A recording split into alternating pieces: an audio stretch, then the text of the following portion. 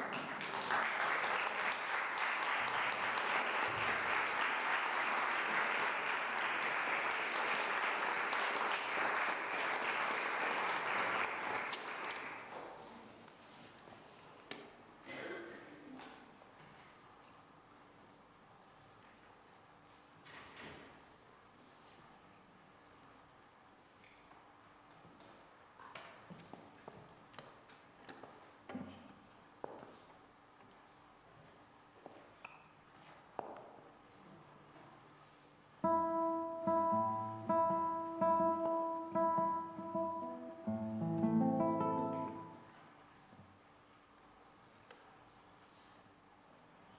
Platero é pequeno, peludo, suave, tan dondo por fora que se diría de algodón todo el, que non leva osos. Só os espellos da cibeche dos seus ollos son duros tal que dous escarabellos de cristal preto. Deixo o ceibo e vai o prado e a cariña tepidamente co seu fuciño rozando as tenramente as floriñas rosas celestes e amarelas. Chamo docemente. Platero, e ven onda min. Cun trotiño ledo que semella que se rí. Cun non sei que cascabeleiro ideal.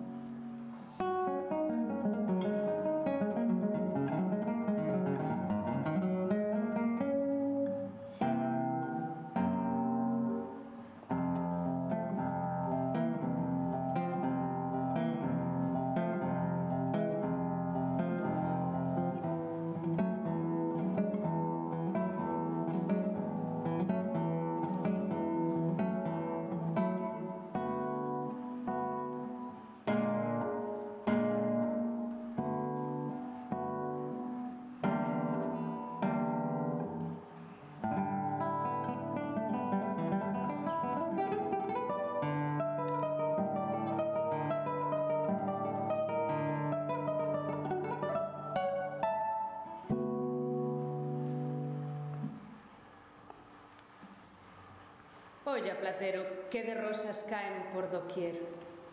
Rosas azuis, rosas brancas, sen cor. Diríase que o ceo se desfai en rosas. Olla como se enchen de rosas a fronte, os sombreiros, as mans. Que farei eu con tanto ben de rosas? Máis rosas. Os teus ollos que ti non ves platero e que erguer mainiñamente cara ao ceo son dúas velidas rosas.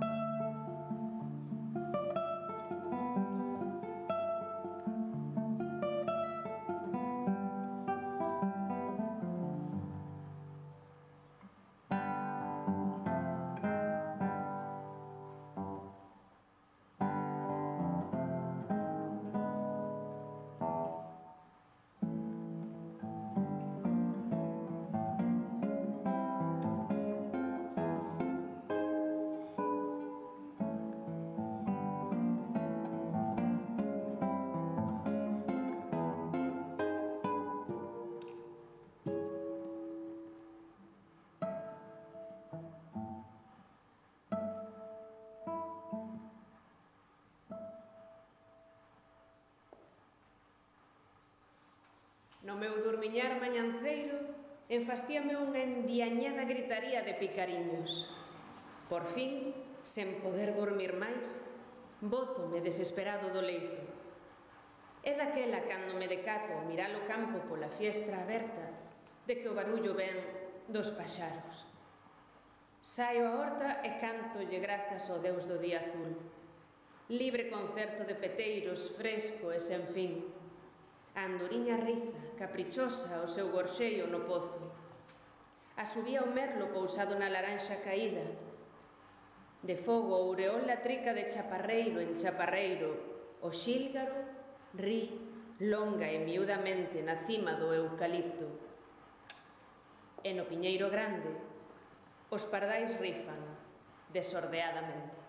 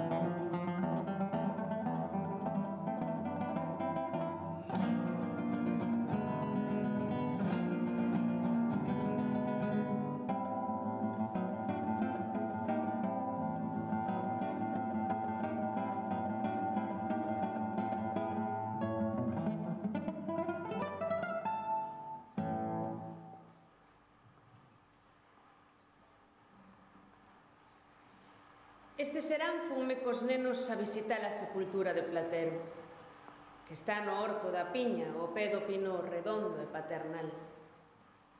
Arredor del, abril fora adornando a terra húmida con grandes lirios amarelos.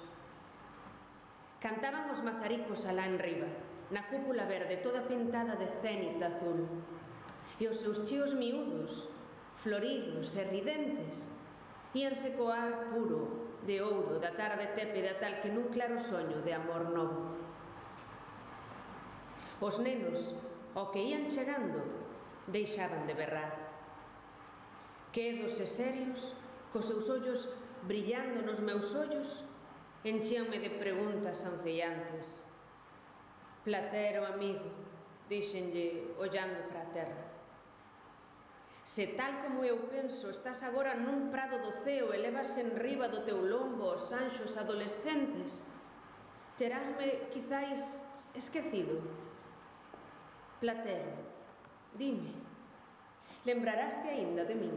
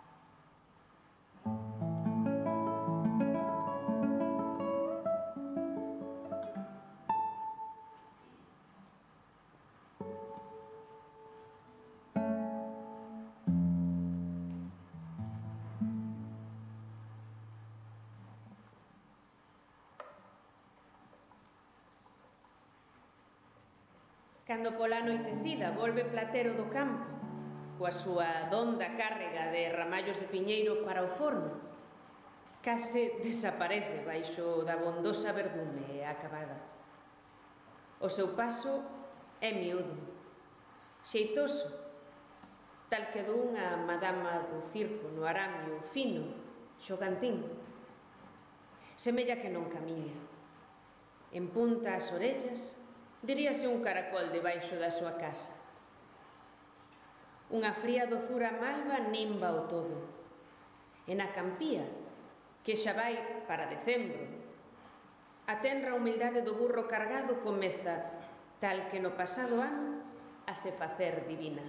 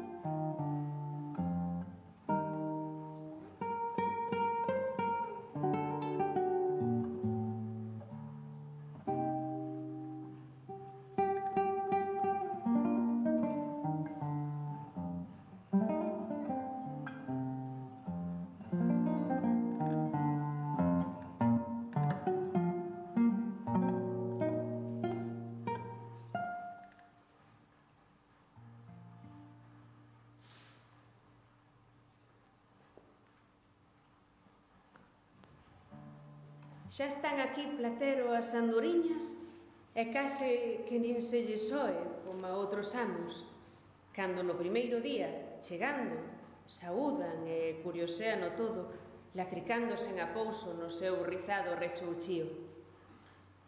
Non saben o que facer. Voan mudas, desnortadas, como andan as formigas cando un cativo lles esmagalla o camiño. Non se atreven a subir e baixar pola rúa nova en insistente liña recta, con aquel riciño ao remate, nin a entrar nos seus niños dos pozos, nin a porse nos arames do telégrafo que o norte fai zoar. No seu cadro clásico de carteiras cabo dos silladores brancos, Van morrer de frío, platero.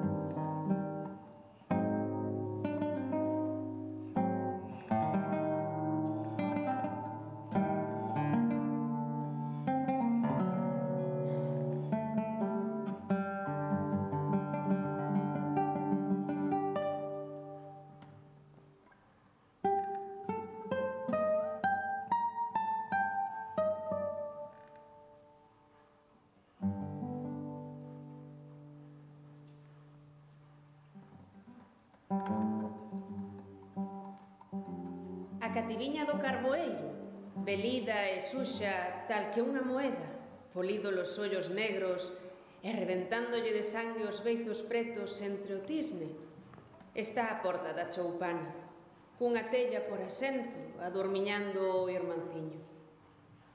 Sentida e doce, a carboeira canta. Mi niño se va a dormir en gracia de la pastora. Pausa o vento nas copas. E por dormirse mi niño se duerme la arrulladora. O vento platero que anda manseliño de por medio dos piñeiros queimados achégase onda nós, pouco a pouco. Logo, deitase na terra fresca e o ar da longa cantarela da nai adormiñase, tal que un neno.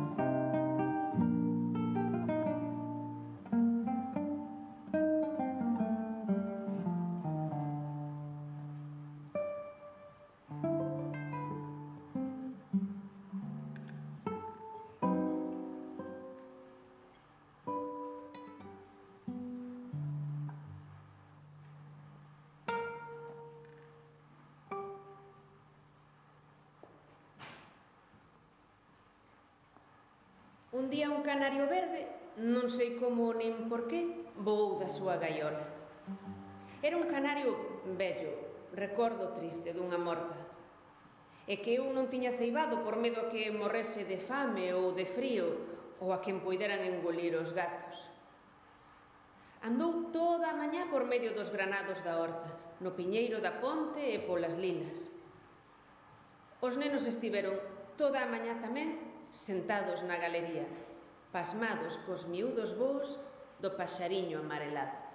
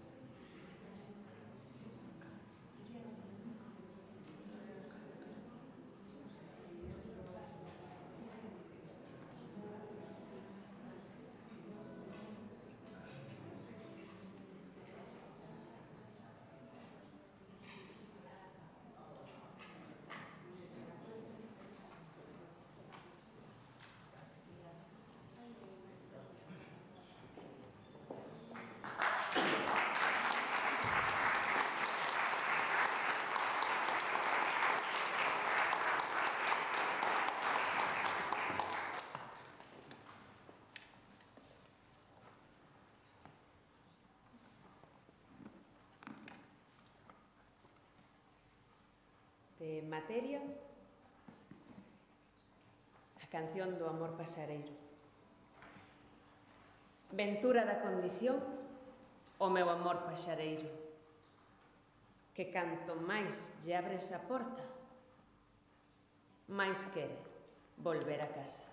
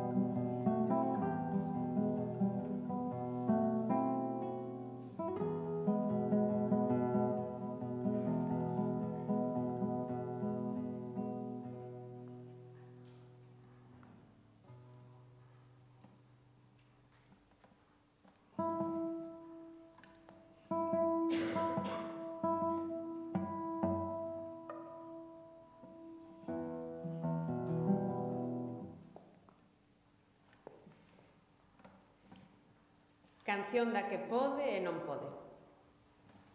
Contame un canto de sílice e lúa. Faime unha historia de pano e satén. Tráeme un muiño debaixo da noite. Cántame un barco que balance ben. Ese me pico o sorriso. Ese a sede me atragou. Se se me marea o xuizo, se mesma unha idea boa. Miña boa modista e non sei coser. Meu avó foi canteiro e non sei labrar. Zaorí o meu padriño e auga non topo. O meu pai foi mariño e non sei navegar.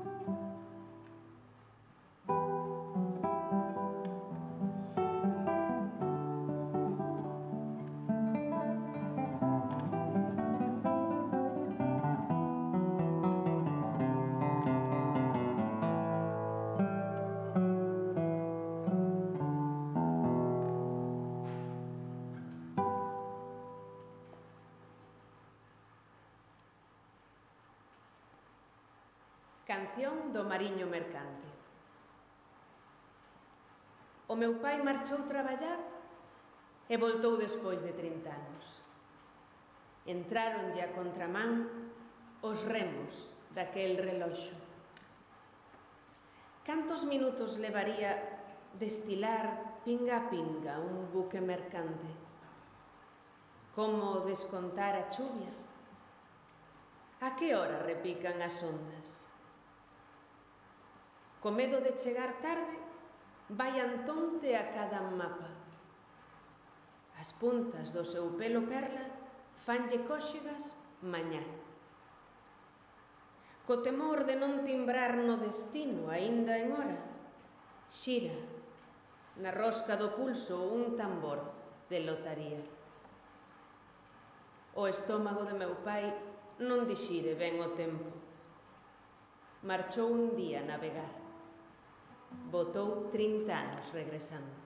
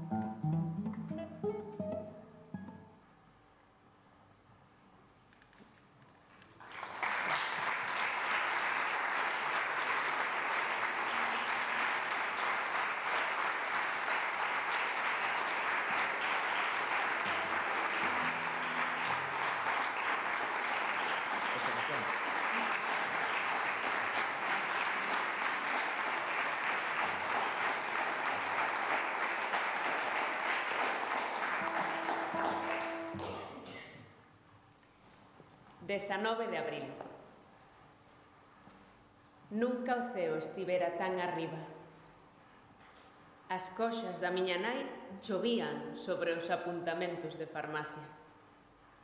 Domingo no hospital. Unha bacteria de silencio. Unha especie de rosa ácido pavimentaba os seus pasos. Dous corpos repletos de futuro. Un relato, sorrisos certos e un puntiño desa textura doce e crocante da inconsciencia. Eu cheguei montada nun tren de veados amarelos. Os meus pais traducíronme das súas ganas de fundar algo. Os tres éramos de nube, aínda non tiñamos peso. O que facía o verán, agora facía noeles. Se as azaleas dicían que sí, A brisa respondíalles que para diante. Ata os pasos rumbo ao abismo apuntan sempre de fronte. Cada día da primavera é un acto irreversible. Estamos xuntos nesta gramática como está abril nesta tarde.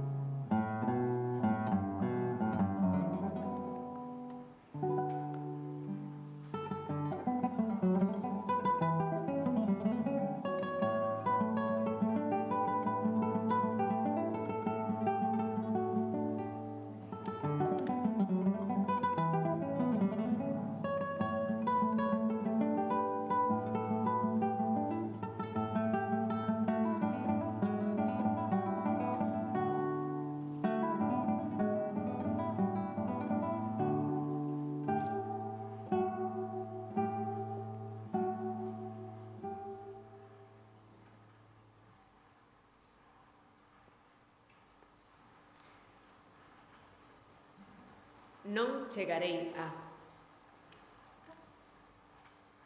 Non chegarei a levarte da man, nin ti te agarrarás á miña. Non che abrirei a persiana a mediodía os domingos. Non me rincará da cama ningunha emerxencia co teu rostro. Non chegarás a murcharme a pel. Nunca deterás a miña viaxe. Non che comprarei un pardal, nin serán teus os muros que me custaron tanto. Nunca saberei quen és, que significaría amarte. Non chegarei a saber se era así como dicían. Non adivinharei que, nin como, nin canto, nunca. Non me sorberás o tempo, ninguén me buscará en ti. Non serei máis ca eu para sempre. Non te verei facer o que amas tan profundo, non coñecerei os teus fillos bañados pola so, polo sol un mes de agosto. Non sosterás o meu pescozo, non me apagarás a luz.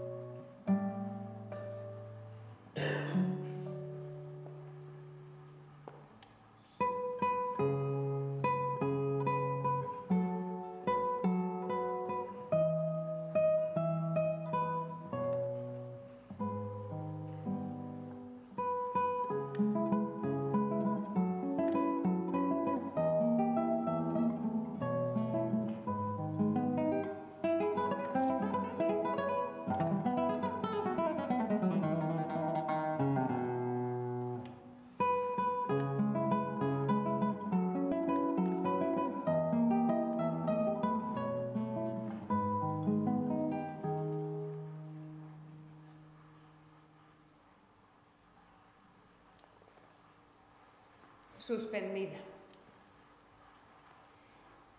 En canto o animal da noite se aparea co planeta, podo aventurarme a ver o que podería ser. Un país de paxaros estará do outro lado se te embarcas en ser por fin esa emigrante. Sí, digo eu, e non regresarei máis nunca ás costas douradas do meu precario país contempla agora o peito que non ha reproducirse. Nalgún lugar, nunha esfera, tal vez esteas andando, filla, coa nena que fun e que morreu. Tal vez Gizo e os nenos da auga estean da man a camiñar contigo. Só ti vagas por detrás do tempo e non logras encontrarme Vae perenne, esfera quieta. Miles de seres non nacidos buscan entre as sombras os seos das súas nais. Avanzan entre a néboa cos ollos acendidos, bracean dende o oscuro, preguntan en voz alta Pero ti non me encontras, filla miña. Non podo imitar os meus eles para debuxarche as pestanas, Ningún punto é seguido para poñerche un lunar. Os meus poemas non me tiran do xersei, nin merguerán ás tres da mañá presas do pánico. E o meu pobre país e as súas costas douradas. O teu rostro derrúbase como a cámara lenta. Levas derrubándote desde que teño dezasete. Vouche desabotoando os músculos, destrenzando os teus tecidos. Filla, filla miña, non podo cargarte no meu colo. Fica onde estás, queda tranquila.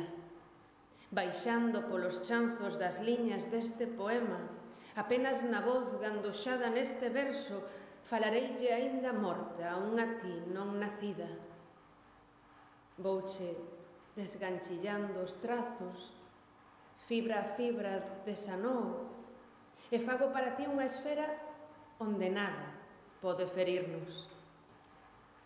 Deixa de camiñar e dorme, que ali nos encontraremos. Nada teño e nada pido, un fulgor inasible, logo nada.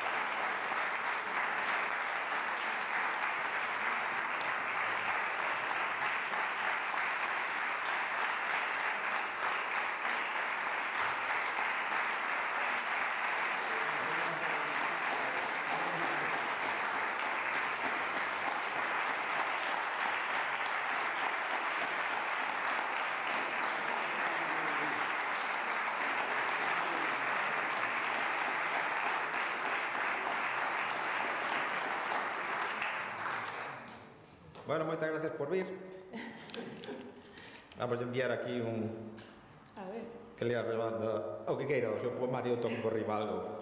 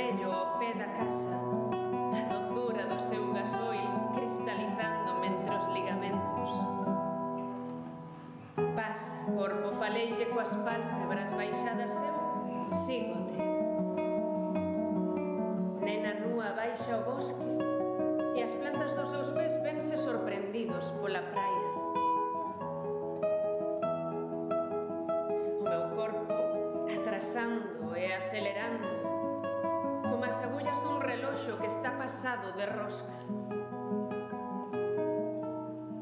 Sempre que pulso esa tecla, volveseme a mesma imaxe.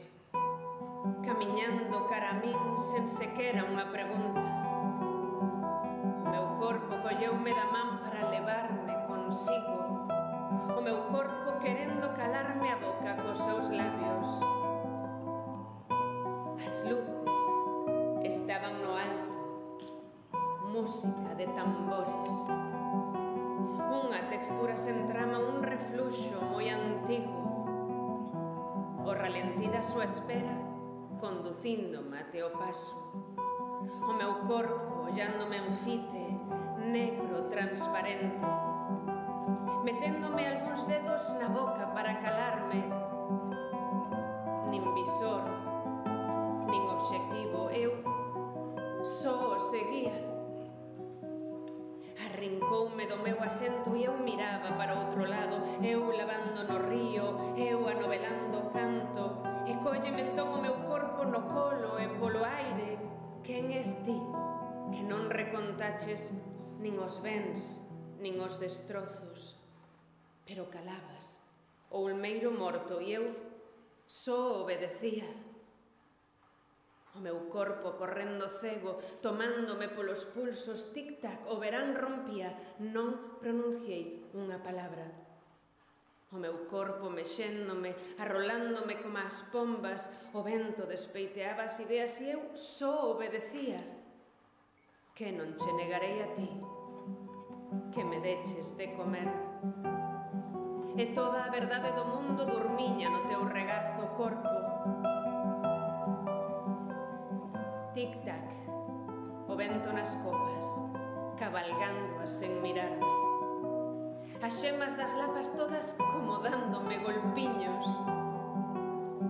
A lúa estaba deserta, eu só obedecía. O meu corpo camiño ao monte e eu mirando para outro lado. Sempre que pulso esa tecla, volveme a mesma imaxe non soseaban as súas sibilantes.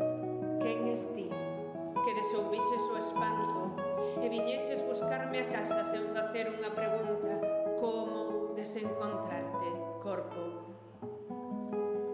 Dándome mil voltas, deixándome en ridículo, o meu corpo entreabríndome os labios, sentándome nas súas pernas, ignorando e facendo todo o camiño de memoria a lucidez do meu corpo anainada entre peixes. Quen es ti que viñeches por min sen saber sequera o que tiña para darche? Ia remando o meu corpo e saudábanme os golfiños recitando de memoria o meu corpo abalanzándose